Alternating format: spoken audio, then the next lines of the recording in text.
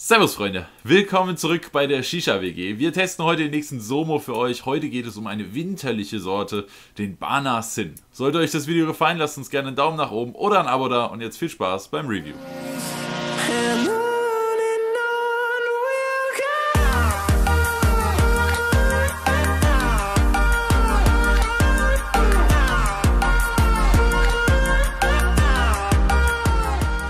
So, da sind wir wieder mit dem Banasin von Somo. Heute mal keine Strong-Sorte, nachdem wir die letzten paar Mal ja eher die Strong-Sorten getestet haben.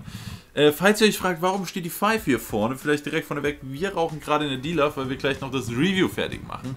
Äh, ich weiß nicht, was vorher kommt, aber schaut auf jeden Fall mal auf dem Channel vorbei, könnte schon online sein, falls euch die Pfeife gefällt. Aber Banana Cinnamon, also Banane und Zimt. Wie gesagt, eher winterlich für uns, wäre jetzt nichts, was ich im Sommer rauchen würde.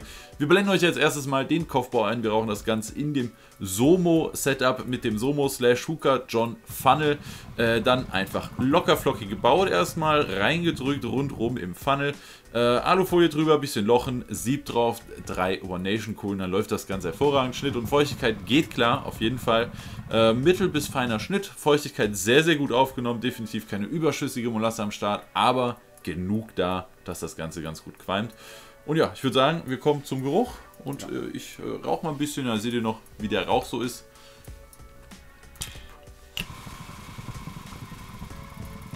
Das erste, was einem wirklich so in die Nase steigt, ist auf jeden Fall so eine kranke Zimtnote. Nicht krank im negativen Sinne, sondern eher schon so im, einfach nur weil es so intensiv ist, gepaart mit so einer etwas, ich würde eher sagen, zermatschten Banane. Also es ist nicht so, als würde man gerade eine Banane aufpellen und dann auf einmal dran riechen, sondern eher so, als würde man mit, dem, mit der Gabel die Banane so ein bisschen zerdrücken, zerteilen.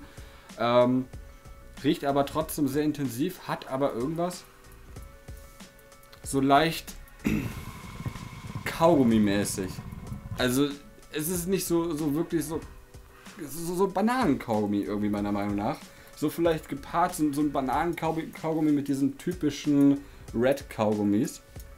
Weil mhm. diese Zimtnote noch so dabei ist. Aber es ist so, so, so leicht künstlich irgendwie. Also künstlich gebe ich dir recht, aber auf Kaugummi wäre ich im Leben nicht gekommen. Äh, was mir als erstes in die Nase steigt, ist auf jeden Fall eine gute Zimtnote. Das ist ja oftmals das Problem, egal was ihr mit Zimt mischt. Zimt ist einfach so penetrant und intensiv, dass es meistens alles andere übertüncht. Es kommt aber noch eine ganz angenehme Banane mit auf jeden Fall. Für mich riecht das eigentlich eins zu eins wie so ein Müller Milchreis mit Banane und Zimt. Das ist für mich so eins zu eins das, wonach das riecht.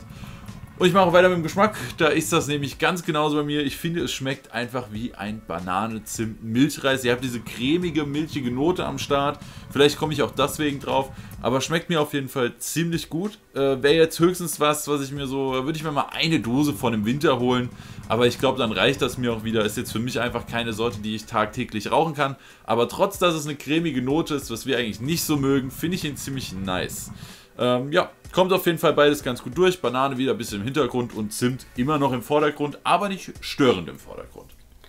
Bei mir ist es eigentlich identisch. Also ich würde auf jeden Fall sagen, so ja, beim Geschmack her kommt weiterhin die Zimtnote viel mehr durch als die Bananennote. Mit dem Cremigen hast du auf jeden Fall recht. Ähm, und auch, dass ich mir den Tabak nicht so oft kaufen würde. Also ich glaube, das ist so, den kann man vielleicht innerhalb von drei Monaten dreimal rauchen oder vielleicht auch vier, fünf Mal. Aber für mich wird niemals die Frage kommen, dass ich mir sogar eine Dose hole. Einfach aus dem Grund, weil ich nicht auf diesen Bananen-Zimt-Geschmack abfahre. Es gibt auf jeden Fall geile Zimt-Kombinationen, aber der gehört persönlich nicht dazu. Kurzer Einwurf.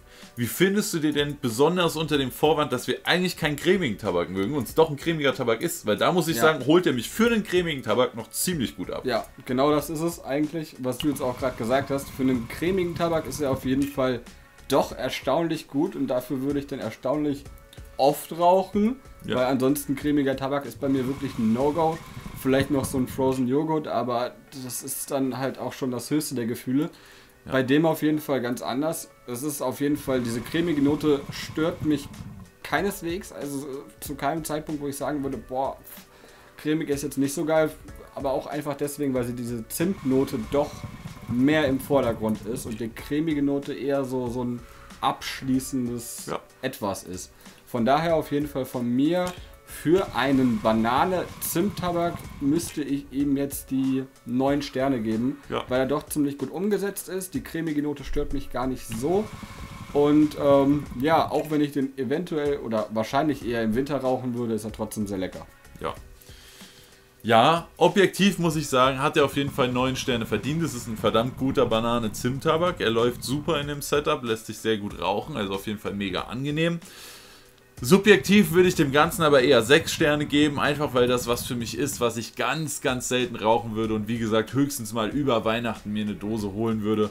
Vielleicht sogar eher ein paar 50 Gramm Päckchen oder so ab und zu mal ein 20 Gramm Päckchen, wobei die gibt es ja nur in der Selection Line. Also ja, ab und zu mal ein 50 Gramm Päckchen würde klar gehen oder wenn ich wirklich mal Bock habe über Weihnachten viel cremig zu rauchen, eventuell eine Dose. Aber ich glaube, bei uns gibt es einfach andere Sorten, die uns viel mehr abholen würden. Ich bin zum Beispiel im Moment total auf dem Somo Strongline Trip. Äh, Ich könnte die ganze Zeit Strong Orange und Strong Red und ach, fast alle, auch den Strong Lime und noch so viele mehr aus der Strongline rauchen. Und die sind für mich definitiv deutlich, deutlich geiler als der. Aber ich denke, äh, objektiv 9 Sterne von uns beiden, da gibt es nichts zu diskutieren. Also 9 Sterne für den Somo Banana Cinnamon. Ein sehr solider Banane-Zimt-Tabak. Falls ihr auf sowas steht, holt ihr euch, glaube ich, definitiv ab. Falls wir euch abgeholt haben mit dem Review, lasst uns gerne noch einen Daumen nach oben oder ein Abo da und dann sehen wir uns beim nächsten Review wieder. Bis dahin, macht's gut. Eure Shisha WG. Ciao.